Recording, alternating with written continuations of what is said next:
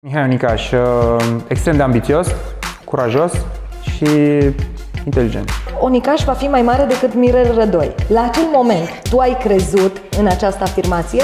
Am dezamăgit multă lume și printre care și pe, pe Nea Gigi. A ținut foarte mult la mine, la fel și domnul Hagi. Tot ce am realizat, am realizat pentru că atât am fost de bun. Îți spun sincer, n-am, n-am fost plătit cu lunile la fotbal. Au fost momente când uh, șase luni nu primeam niciun salariu.